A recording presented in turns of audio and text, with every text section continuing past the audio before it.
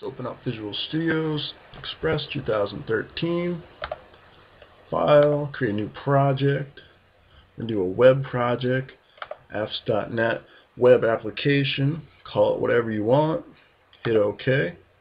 We're going to use the MVC template, which will check off MVC, and we can choose our user authentication. We're going to go with individual user account authentication for our websites, which will allow us to use Facebook, Twitter, Google, or Microsoft, or another provider to log in to our application through OpenID or Open Authentication. Hit OK. Our project's going to take a little while to load up and create itself.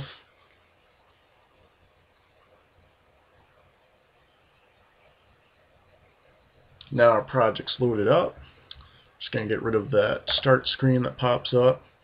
We're going to go to our folder, our app start folder. In our app start folder, we have our startup.authentication.cs file. And today I'm going to show logging in with Google. So I'm just going to uncomment out this app.authentication use Google Authentication, which will allow us to use Google's OpenID authentication for users to sign into our website.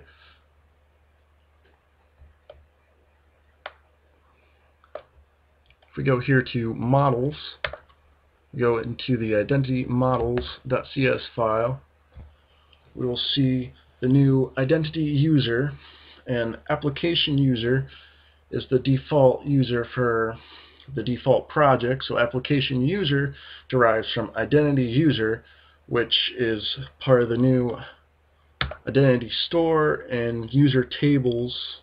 So if we just drive into identity user, we can see that built into MVC5 are a bunch of user related tables.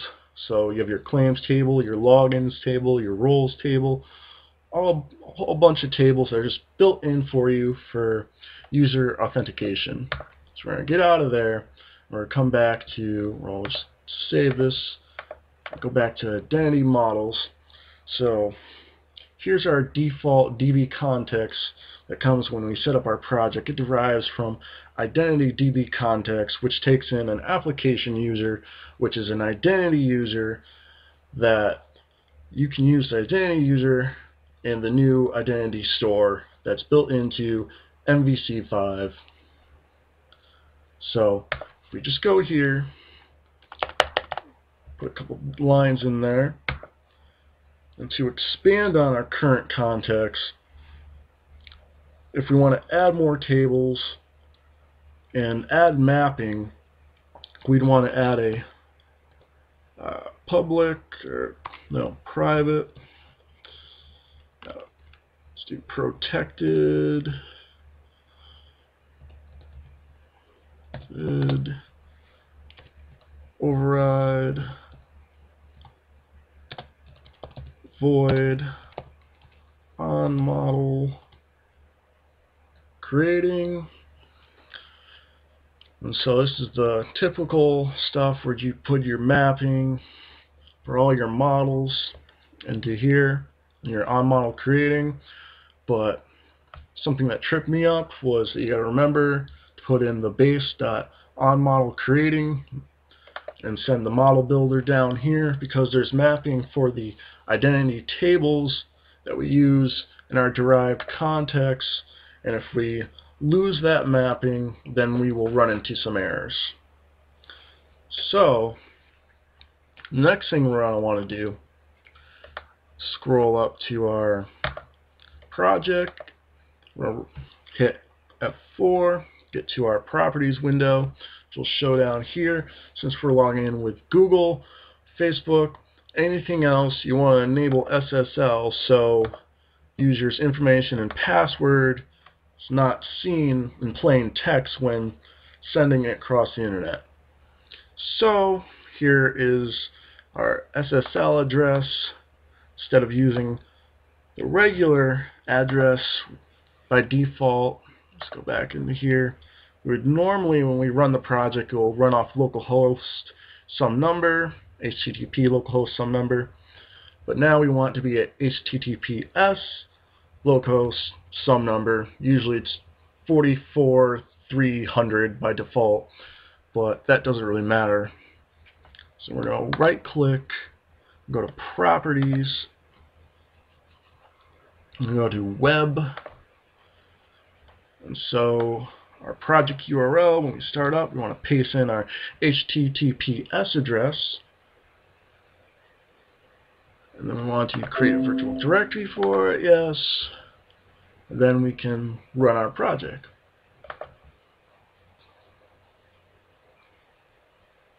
Our website's going to load up. It's going to be untrusted because our SSL ticket is not registered. So I understand the risks or whatever your browser might say. I'm going to confirm this uh, exception because it's just our website. It's totally fine.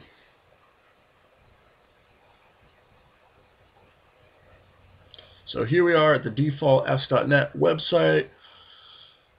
So we're going to register a user. So when a user registers, goes in, puts in his username, maybe it's Bob, Bob has password, confirms his password, he registers with our site, uh, he doesn't want to remember his information right now.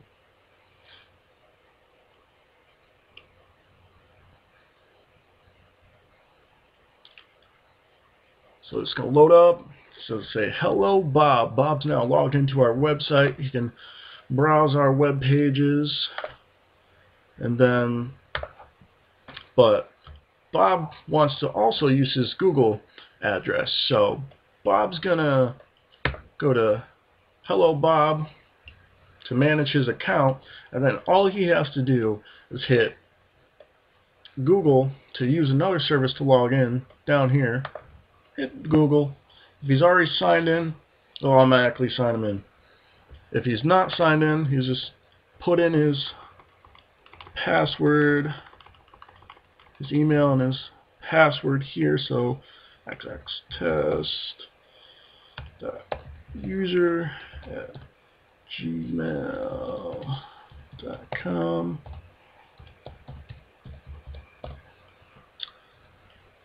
To sign in. It's going to ask him if he wants to accept this, accept this, to connect with the site. And now Bob can log in with his Gmail. He just did. He logged in as the same Bob. So he can either log in with his password he just made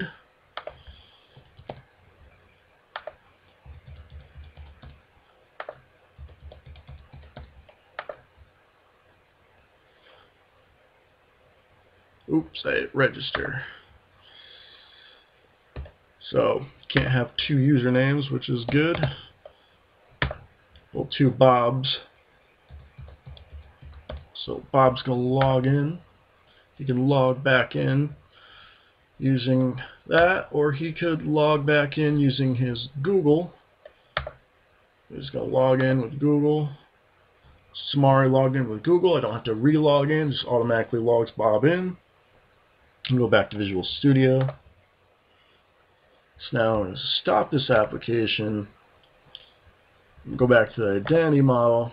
So if you want to add anything else to user information, just put in there an application user or make a new class, whatever you want to do.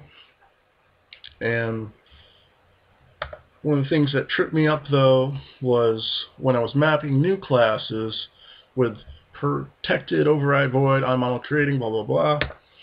I forgot to add base dot on model creating with model builder, which will set up the identity tables.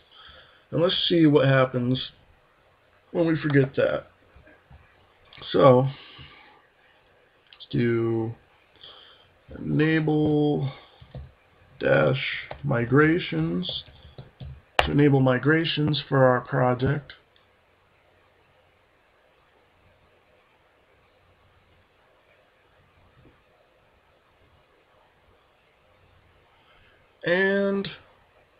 It's it would it does allow you to enable migrations, but it won't do a first migration.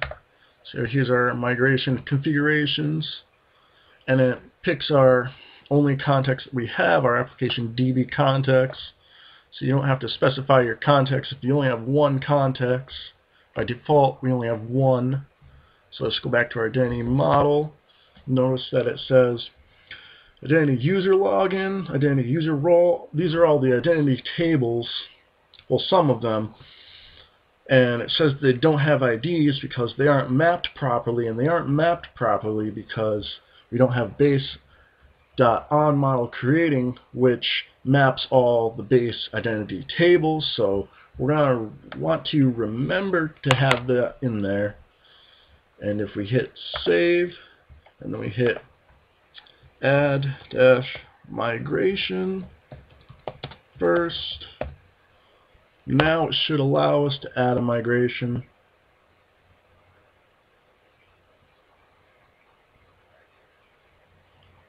Which it did, a scaffold of the migration. And just update our database, update dash database.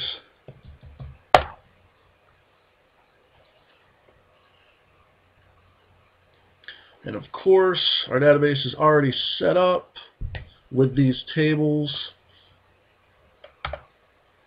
So, update this database.